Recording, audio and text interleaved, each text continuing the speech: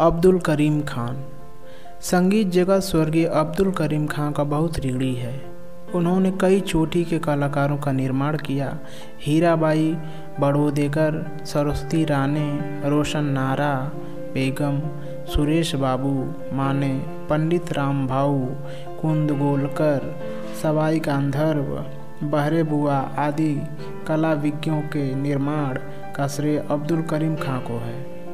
उन्होंने ही ठुमरी को सरल और लोकप्रिय बना दिया। उन्हें ख्याल, ठुमरी, भजन तथा मराठी भाव गीतों पर सम्मान अधिकार था। उन्हीं के सत प्रयत्नों से अब हम करीब करीब सभी गायक ठुमरी गाना पसंद करने लगे हैं। कभी कभी तो ऐसा देखा गया है कि स्वयं जनता की ओर से ठुमरी की फरमाइश हो जाती है। खां साहब सहारनपुर ज़िले के किराना नामक गाँव के रहने वाले थे। आपके पिता काले खां तथा चाचा अब्दुल खां स्वयं अच्छे संगीतज्ञ थे, जिनसे आपको संगीत की शिक्षा मिली। आपकी शिक्षा बचपन से ही शुरू हो गई थी और बालक करीम खां का गायन लोगों को आश्चर्यचकित कर देता था। बहुत छोटी सी उम्र से आप संगीत के जलसों में अपना कार्यक्रम देने लगे थे। थोड़े बड़े होते ही आपको बड़ौदा दरबार में राजगायक नियुक्त कर लिया गया। केवल तीन वर्षों तक बड़ौदा नरेश की सेवा में रहने के बाद कुछ दिनों तक बम्बई में रहे और तत्पश्चात मीरज चले गए। खां साहब स्वयं एक उच्च कोटि के गायक हो चुके थे, किंतु उनकी हार्दिक अभिलाषा अच्छे संगीतज्ञ और श्रोता उत्पन्न करने की थी। इसलिए उन्होंने एक संगीत विद्यालय की स्थापना 1913 के लगभग पूना में की। उसका नाम आर्य संगीत विद्यालय रखा।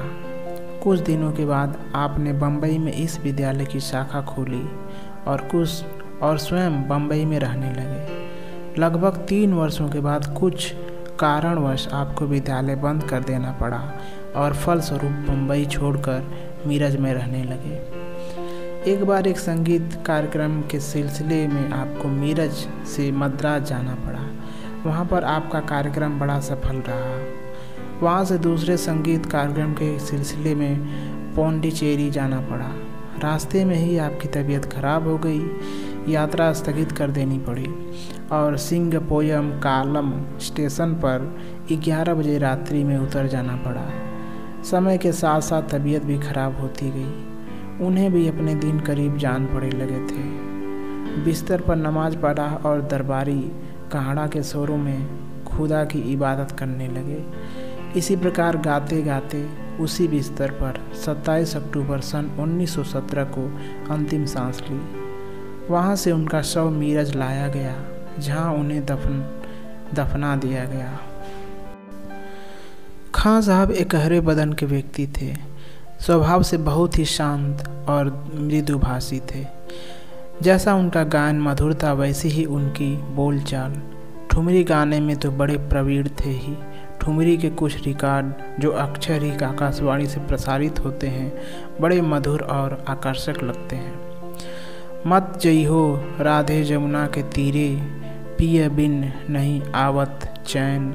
उनकी गाई हुई ठुमरियाँ बहुत प्रसिद्ध हैं। तार सप्तक में उनकी आवाज़ में बड़ी सरलता से तथा स्वाभाविक ढंग से जाती थी।